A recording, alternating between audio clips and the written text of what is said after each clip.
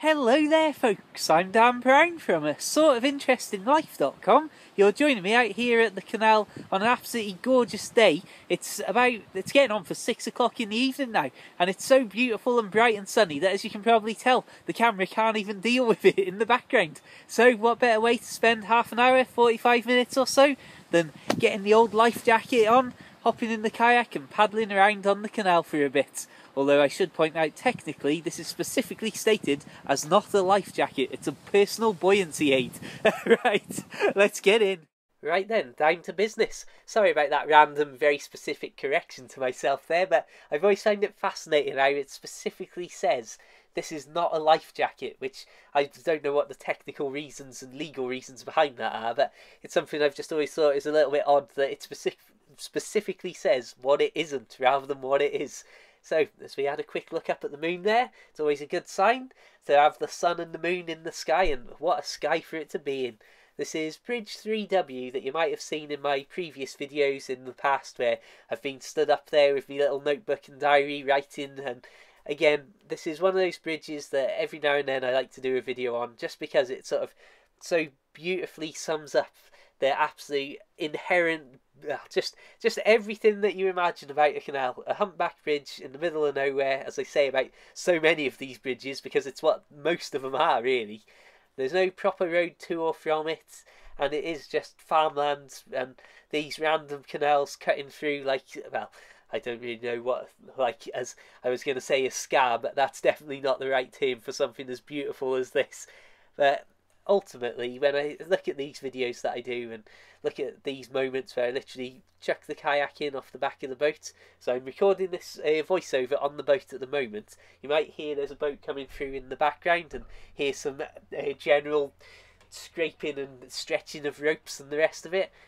But as we travel down here, this, as I get back on track, this is what inherently I can't really ever explain what it's like to just be able to literally throw a kayak into the canal off the top of your boat and then just paddle around like this in the evening. And it's something that I do for so often and so many times these days. Well, certainly when the weather's like this, not when it's um, in some of the less fortunate uh, weather conditions that we've had not too much of recently, given that it's April and the April showers and all that sort of stuff. Um, it's just great. And again, I've been so lucky to actually be able to do this and do it as I say. And again, I've said this so many times. Just at the age of 25 to have me boat. I've said in the past, in fact, when I first got the kayak, that I really do wish, as you can see, my pirate flag has unfurled itself and started to hang across the window there.